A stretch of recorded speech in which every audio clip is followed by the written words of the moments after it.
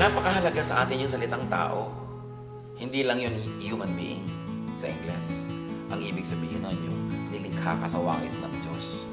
Kaya yung pagpapakatao, napakahalagang pangako. Kaya pag sinabi mong tao po, ibig sabihin nangangako ka na magpapakatao ka kung ikay.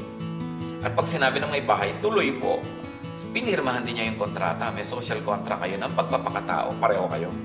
Kaya anong una mong gagawin pag pinapapasok ka, hinuhubad mo yung sapin mo sa paa? Dahil nagpapakatao ka, eh, dudumi yung bahay niya.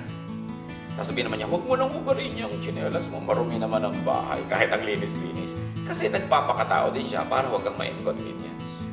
Kung kumakain sila, aalokik ang pilit. Ikaw naman, dahil kahit gutom sa mo, busog po. Hindi hypocrisy or lying yon kasi ayaw mong makaabala dahil nagpapakatao ka.